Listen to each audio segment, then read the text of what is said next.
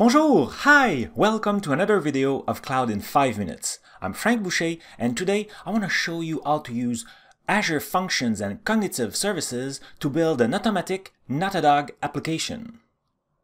Aussi, si vous préférez, j'ai une version en français de cette vidéo. Cliquez juste ici dans le coin en haut à droite.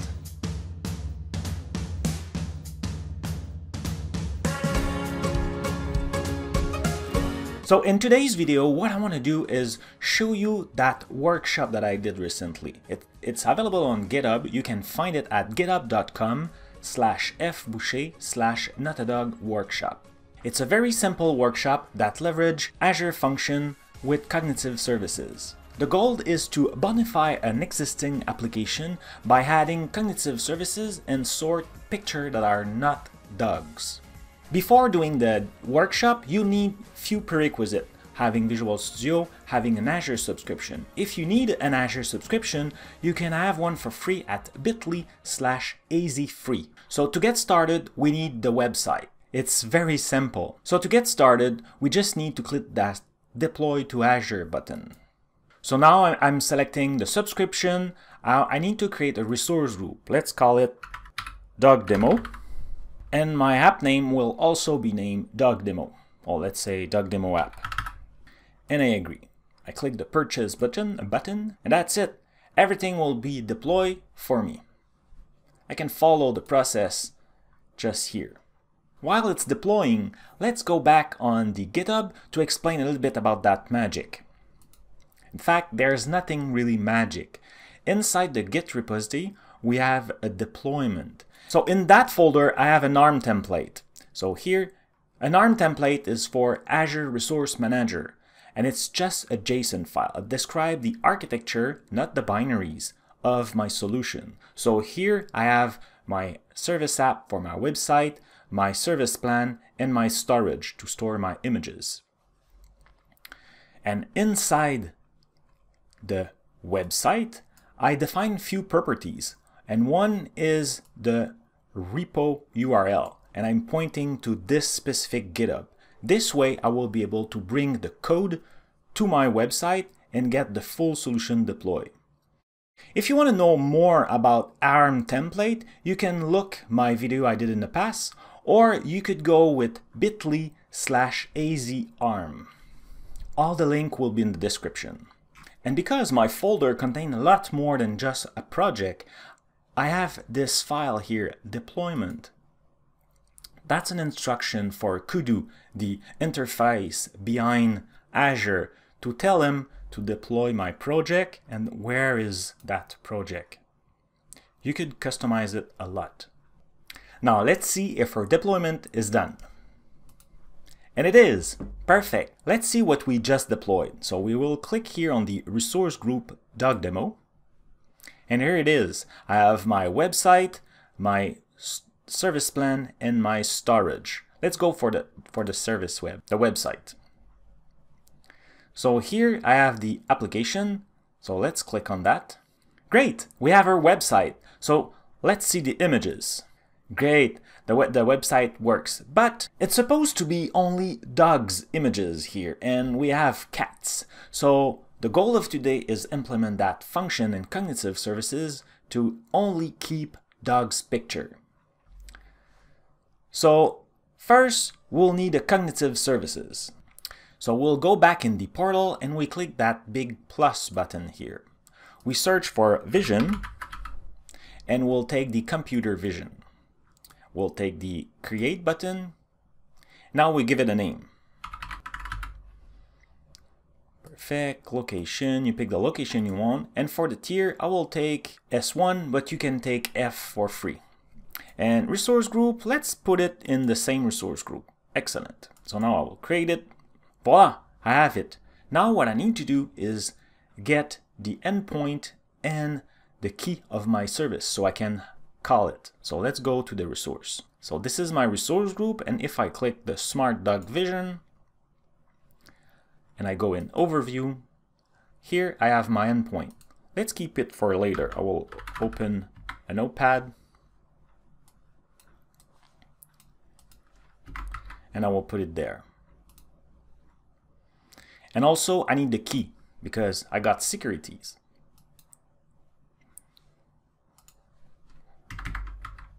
There it is. So before we create our function, let's get the connection string of our blob storage. So I'll go back to my resource group and I will go in the storage. And here I have access key and I will grab one connection string. Voila! Now I have everything I need to build my function. So here I have an empty folder. So let's open it in Visual Studio Code. We'll maximize this. Perfect. So now I want to I want to create a new Azure function app. So we'll do this with the Azure function extension. So here the Azure and I have the oops, let's just close this one. And here I have the Azure function. So we'll create a new project here and that's perfect. That's the folder I want. I want to use C sharp. I will skip it for now, the project. I will create the function a little bit later. So skip it for now. So now if I look, I have all the file I need for my project. Great, so now let's create our function. So we'll go again in the Azure extension and we'll click this time the second button, create a function. Now I need to select the template, so it will be a blob trigger because I want my function to be triggered every time a new file arrive in the blob. Perfect. So now I need a name. Let's use block detector. And for the namespace, let's look, let's use demo function. Excellent. So I will use the Azure Web Storage as a function to save the connection string of my blob storage.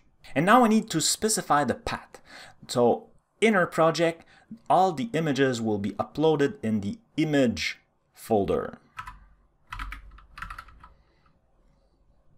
Great, so now we have uh, the default template for a blob storage. But before we add our own code from the GitHub source, let's just add a few package that we are missing. So for that, we'll open the terminal, and since I'm using API, I'm assuming I will need JSON. So let's just put the .NET add package, new JSON, new soft JSON. So let's add the package for that. And I also need to add package for the cognitive services. And I need a little bit more for the metadata that would be returned. So .NET add package and then my namespace. Great, now we can close the terminal. We don't need it anymore. So from the GitHub, I grab the all the code and I will replace all the code of this function by the code that is available over there. We'll close this. So now I'm ready. So here the dog detector will be listening to my image folder and the connection string is saved in the Azure Web Job Storage and then it will call the Vision API, retrieve the information and validate in the tags return if it founds animal dogs or dog. Great. So the only thing I need now is to put all those keys inside my file. So I have a file here named local settings and I will put the information I need here. So my connection string to my blob storage, we know it's going to Azure Web Storage.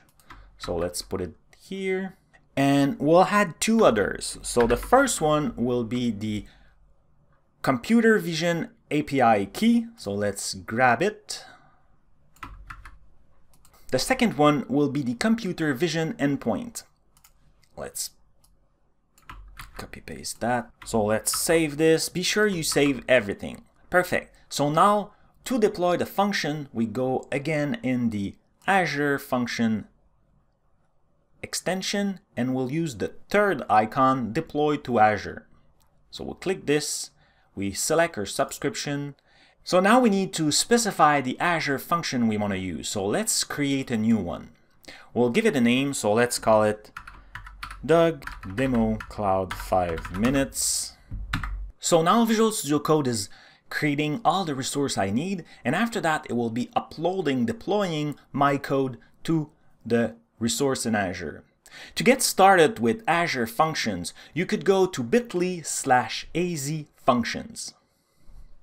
Perfect, so now our function is deployed, but the settings are still local. Let's upload our settings so our function in Azure is able to connect to our Vision API and also monitor the good blob storage. To do this, it's very simple. So you go again in the function extension and you will expand your subscription. Let's expand this section. And now you will find your Azure function. So here it is. And if you expand this, you will find application settings. You right click on this and you have upload local settings. You could just click on this and specify that you want to override everything. It will take only a few seconds and all our setting will be set in Azure. So now we are ready to test our application. To upload new image in the blob storage, you could use many different tools, doing it by code, using the storage extension, but for now, let's just use the Azure portal. So we are already in the storage account. So let's just go back to overview. And now I will go here in the section blob. Like I mentioned previously, all the dogs image are saved here in the container image. Here, that's, that's the cat and the image we, I had. So first, let's get rid of that one manually. And now let's upload a new, a few new pictures. So let's go and upload. That will open a new panel here. And I will apply a few files. So let's let's reapply that Tesla cat and let's apply a, a few others. So let's apply this puppy not apply but upload and let's put something else let's put the like let's put this picture of Montreal so eventually our trigger will be triggered and our function will clean the image that are not dogs. By refreshing this page, I will have the result. And there it is. All the other images have been deleted. It only kept the dogs images. And that's it. That's our project. All the services are very easy to use. And there's many more and they're also available in containers. To know more about the cognitive services, you could go to bit.ly slash azc-services. I hope you like this video and I hope it was useful. If it's the case, give it a thumbs up, share it, it's always appreciated. Thank you for watching, see you next time.